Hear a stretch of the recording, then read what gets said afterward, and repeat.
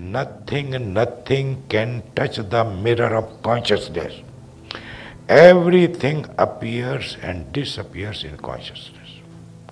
And you are that pure consciousness, totally, totally untouched. I give you the clue. Now it is up to you. Keep on your journey.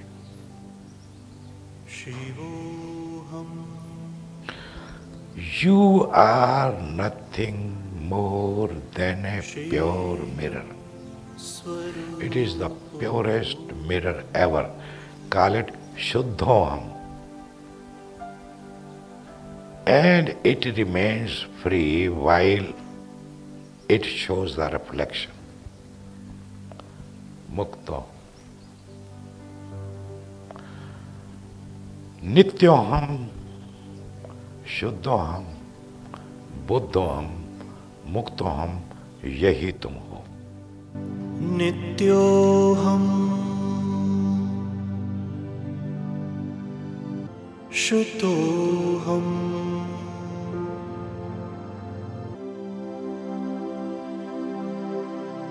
बुद्धोऽहम्